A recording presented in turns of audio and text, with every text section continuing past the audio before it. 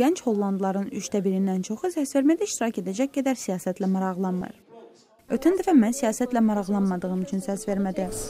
Mən seçki ilə bağlı çox şey bilmədiyim üçün səs vermədim.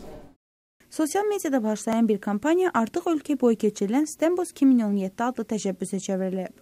Niderlandda tanınmış televiziya aparıcısı gəncləri martda keçiriləcək ümumxalq səsvermədə iştirak etməyə təşviq edən kampaniyaya başçılıq edir. Siyasətçilər seçki kampaniyası aparanda gənclərə əhəmiyyət vermirlər. Ona görə də onlar arasındakı uçurum getdikcə daha da böyüyür. Mən insanların səs vermədə iştirak etmələrini və siyasətçilərin bizim nəslin güclü olduğunu görmələrini istəyirəm.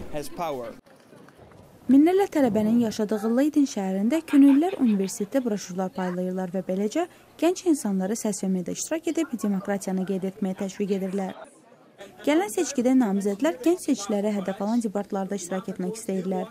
Onların gənclərə necə xitab edəcəkləri barədə bəzi ideyalar da var. Aydın dildə danışın, siyasi dildə deyil. Sadə vətəndaş kimi danışın və əgər sizə sual verilirsə, görəcəyiniz konkret tədbirlər barədə danışın. Belə görünür ki, debat artıq bir çoxlarını səs verməyə təşviq edib. Bu səfər mən səs verəcəm. Çünki indi səs vermə hüququndan istifadə etməli və səsimi eşitdirməli olduğuma inanıram. Debatı izləyəndən sonra düşünürəm ki, səs vermədə iştirak edəcəm. Stembus 2017 martın 15-nə dək keçiriləcək seçkilərə qədər hələ daha çox məktəb və universiteti ziyarət edəcək.